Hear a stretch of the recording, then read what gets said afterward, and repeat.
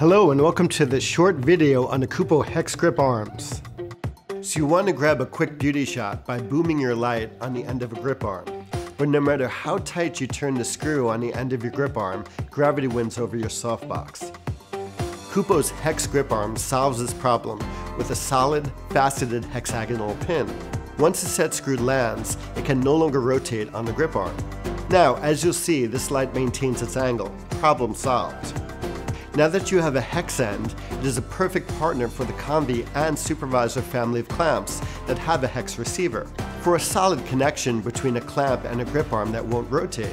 And now we'll hang a couple of sandbags as counterbalance off the grip head side of the grip arm for safety.